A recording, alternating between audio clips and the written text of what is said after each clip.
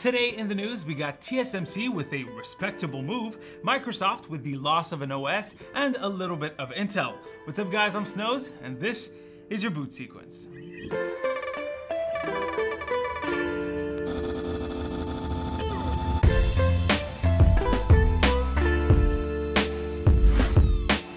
You know the old adage, thou shalt not experience a lifted soul experience through the produce he sowed?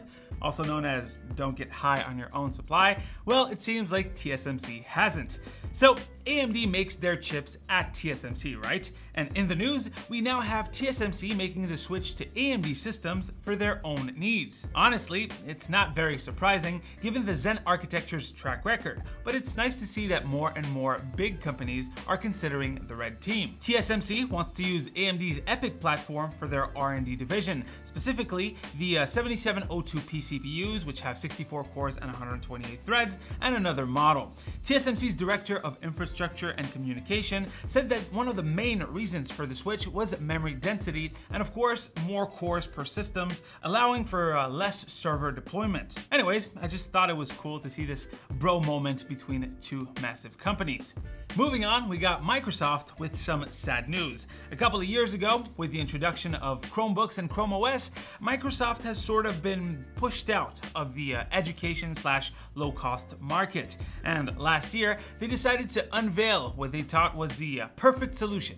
Take Windows 10, trim it down, make it simpler, not too much though, we don't want another Windows 8, and that new OS, they would call it Windows 10X. It was teased with the introduction of the upcoming tablet device called the Surface Neo. It was a dual screen device that basically folded, and it was destined for 2021. The device looked really cool, and the OS did seem like a pocket Windows 10. Unfortunately though, it looks like Windows 10X is destined for the bin. According to news outlet Petri, Microsoft is shelving Windows 10X, which means that the Surface Neo is probably also getting the same treatment. Now, don't worry, because apparently Windows 10 is still getting somewhat of a redesign, or at least updates to its design, since back in January, the company was hiring for, and I quote, a sweeping visual rejuvenation of Windows experiences to signal to our customers that Windows is back. Just please get rid of the tiles in the start menu. That's the only thing that I need rejuvenated. And by rejuvenated, I just mean taken out. Next up, we got some Intel news for you. After what, six generations, the company is finally moving on from their 14 nanometer process with Alder Lake. Not only that, but it's also another drastic architecture shift that will happen at the same time. Intel told us that they would launch Alder Lake for desktops this year, but as we know with Intel, this, this, this, and that, their timelines aren't really their strong suits. Now though, according to WCCF Tech, Intel would launch their 10 nanometer Alder Lake S series in November. That means that Rocket Lake will only have lived for 8 months, which was kind of expected.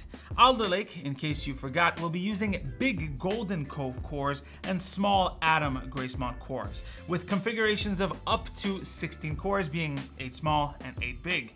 According to a leaked slide, this new architecture would provide a nice 20% single-threaded boost over Rocket Lake and up to twice the performance in multi-core when compared to the last generation. That's nothing to scoff at, considering that Intel is not that far behind AMD in terms of performance. It's just in terms of efficiency that Intel leaves a lot to be desired. One thing that you should take notice of, in my opinion, is this hardware guided scheduling. Do you remember when AMD popped out their uh, first 16 core CPUs for the mainstream market? Well, it was really rough to get all of these cores to jive well with software and Windows 10. AMD had to do a lot of work with Microsoft to make it work as well as it does now. The 1903 update for Windows 10 finally brought some stability for the platform. Now for Intel, they might have to take a slightly different approach with this chip with more hardware-based scheduling than AMD. They kind of have to given that not all these cores are created equal. Alder Lake S will of course also be the first desktop platform to support DDR5, but DDR4 motherboards will definitely be available. Same thing that what happened uh, back in the days with the Z170 chipsets from Intel that were both DDR3 and DDR4. It will also support PCIe Gen 4 and 5, which is a cool bonus. So what are your thoughts? Do you guys still hold a grudge over Intel for the dumb practices of days past, or are you excited to see what uh, is going to come out of this? Let me know down below. Anyways, guys, that's pretty much it for the catch up. Hopefully, you've enjoyed.